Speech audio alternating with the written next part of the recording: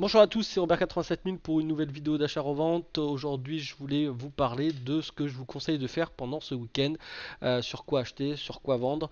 Euh, si vous avez remarqué qu'il y a euh, la Saint-Patrick et la Saint-Patrick est également présente dans le jeu avec des compétitions online, donc la Green King Classic, que ce soit en compétition euh, euh, en, ligne, donc online ou solo, donc offline, euh, qui vous permet de quand même remporter 20 000 crédits. Donc il suffit de faire 4 victoires pour remporter 20 000 crédits, ce qui est vraiment très intéressant. Donc si vous n'avez pas encore d'équipe, hein, il suffit juste d'avoir une équipe comme ça, voilà, donc euh, je sais pas si vous l'avez fait ou pas, voilà, et d'essayer de remporter. Euh, c'est vraiment très intéressant, même si vous étiez en première division, rien ne peut être aussi intéressant, parce que 4 victoires et vous touchez 20 000 crédits, que en première division, il faut au moins 8 victoires pour pouvoir commencer à toucher euh, seulement les 20 000 crédits, donc vraiment très intéressant pour pouvoir monter en, en crédit. L'autre point important à prendre en compte ce week-end avec la Saint-Patrick, c'est qu'on a des super packs à 15 000 qui sont en illimité, donc ce qui va forcément euh, provoquer une chute des prix. Donc ce que je vous conseille de faire, c'est de ne pas acheter sur les joueurs classiques, mais de vous concentrer vraiment ce week-end que sur les joueurs irlandais. Euh, c'est simple, hein. vous prenez voilà joueur irlandais, c'est ce que j'étais en train de faire. Hein. Vous mettez pas de max, vous mettez juste en enchère comme ça et vous regardez et vous pouvez acheter tout ce qui est au-dessous de hop là c'est un peu cher, là c'est un peu cher, Là, ça s'achète évidemment. 1000. Euh, Hop. Vous arrêtez à 1200. Vous arrêtez à 1200. Vous essayez de remporter comme ça les joueurs.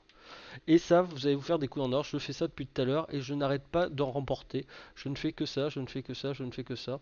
Donc vraiment très très intéressant. On voit qu'il y a beaucoup de longues là. Hop, McGiddy, pareil, on va essayer de le remporter. Ça c'est un peu cher. 450. Ça, on va essayer de le remporter. Hop, c'est un peu cher aussi. 800. 2000, 2000, 2000. Walters. il est pas mal, Walters aussi. Euh, Stoke. Ça, c'est cher, ça, c'est cher. dit pareil, on va essayer encore de remporter. On va augmenter un peu le prix. Voilà, c'est exactement ça qu'il faut faire ce week-end. Il n'y en a pas un seul qui se revend au-dessous de 1300, 1400, pas un seul. Donc il suffit juste de tous les acheter. Et après, vous remettez en vente, vous regardez à peu près euh, le prix euh, auquel ils se vendent. Euh, long, évidemment. Long, en plus, c'est vraiment intéressant. Je sais pas si vous avez déjà joué avec. Là, là j'ai joué un peu avec lui. franchement, c'est vraiment très intéressant de jouer avec lui. Vraiment très sympa.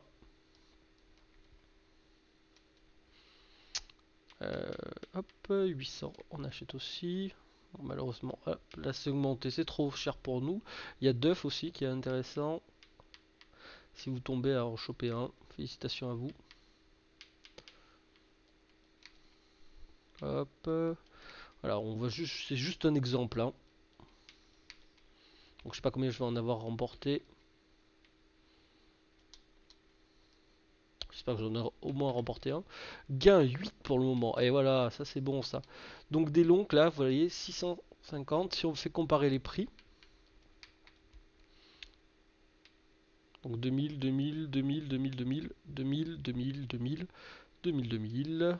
Donc le plus bas c'est 2000. Bon, vous voyez qu'il y en a énormément qui se vendent. Donc euh, moi en général je me fais pas chier. Hein. Bon évidemment on perd du temps à cause de leur connerie encore de fourchette. Euh, parce que on peut pas, on met pas au plus bas. Ça nous met tout de suite le plus bas et le plus haut. Ce qui est complètement débile une nouvelle fois. Mais une nouvelle fois c'est Electronic Arts. Hein. S'il y avait de l'intelligence on le serait depuis plus le temps.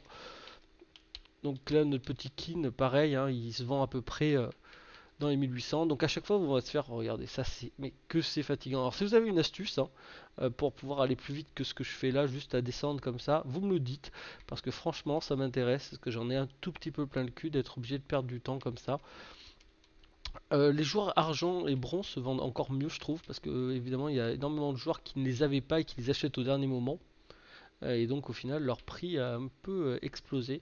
Donc c'est vraiment intéressant. Vous voyez, c'est vraiment rien de plus simple. Et j'arrive même pas à, fournir assez parce que vu le temps que ça me prend juste à mettre le bon prix, euh, je perds un temps fou.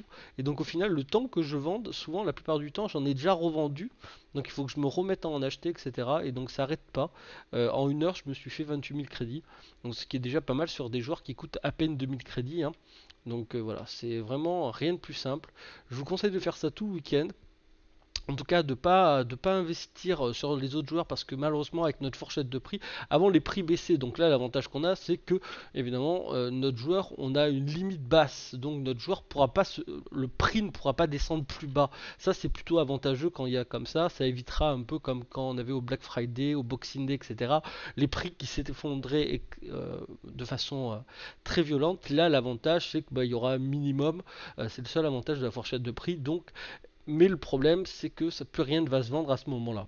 Ce que je vous conseille, c'est d'attendre vraiment et de regarder les joueurs qui étaient au-dessus de cette fourchette basse, parce que quasiment tous vont y arriver hein, à la fourchette basse euh, avec tout ce qui s'est vendu. Essayez de regarder les joueurs qui, qui étaient vers la fourchette haute et attendez ce moment-là attendez dimanche soir pour pouvoir racheter un maximum de joueurs, essayer d'investir un maximum. La fête du transfert avec les joueurs irlandais, vous allez vous faire des couilles en or. Euh, faites des matchs, euh, vraiment faites les compétitions à 20 000 crédits, les, 4 victoires, c'est vraiment très intéressant. Il suffit de faire 4 victoires et bim, 20 000 crédits, c'est comme si vous étiez en première division. Donc imaginez si vous étiez, euh, si vous êtes en 7e ou 8e ou, en 9e ou en 10e, imaginez le temps, le nombre de matchs qu'il vous faut pour arriver à 20 000 crédits. Donc franchement, très bonne opération. Donc achetez des joueurs irlandais. Ensuite, faites de l'achat au vente dessus en, faisant comme moi sur le marché des transferts. Vous regardez juste, vous mettez rien, vous mettez juste ce qui va se finir et vous achetez au maximum. Voilà, vous avez juste ça à faire. Essayez de regarder les prix.